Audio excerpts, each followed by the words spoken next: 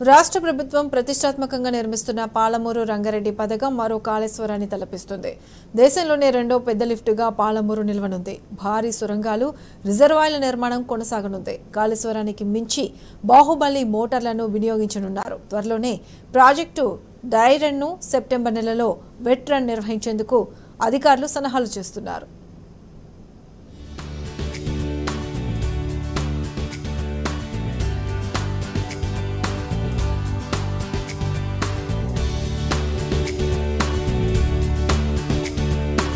తెలంగాణలో మరో మహాయజ్ఞం చకచకా పూర్తవుతున్నది.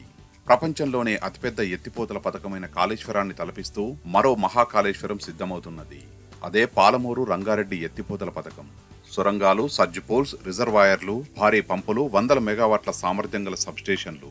ఇలా ఒకటా రెండా అనేక ప్రత్యేకతలతో ఈ ప్రాజెక్టు శరవేగంగా సాగుతున్నది.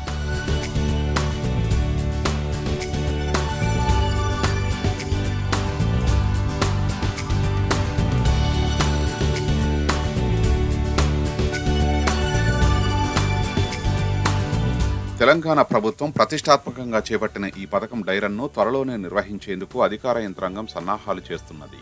ఇప్పటికే ఏదలా వట్టెంలోని పంప్ హౌజులలో డైరన్ను నిర్వహించారు.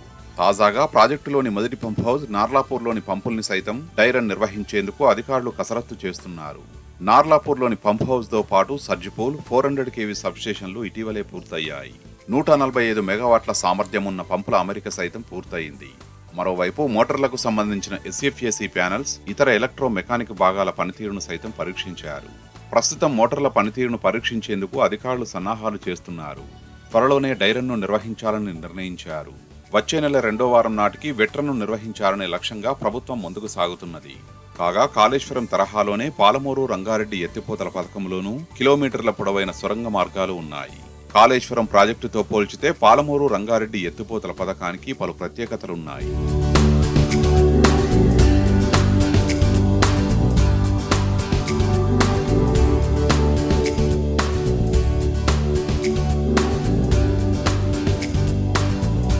మహబూబ్ నగర్ నారాయణపేట రంగారెడ్డి వికారాబాద్ నాగర్ కర్నూల్ నల్లగొండ జిల్లాలు కృష్ణా బేసిన్లో ఉన్నాయి.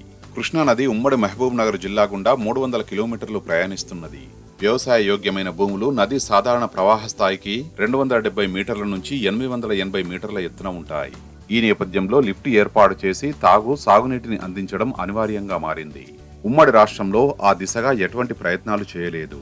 ఎప్పటికప్పుడు స్థానిక రైతుల డిమాండ్ మేరకు వాగులు చెరువుల మీద చిన్న చిన్న ఐడీసీ లిఫ్టులను ఏర్పాటు చేసి వానాకాలంలో వరదను ఎత్తిపోసి ఐదు నుంచి పదివేల ఎకరాలకు మాత్రమే సాగునీటిని అందించేవారు.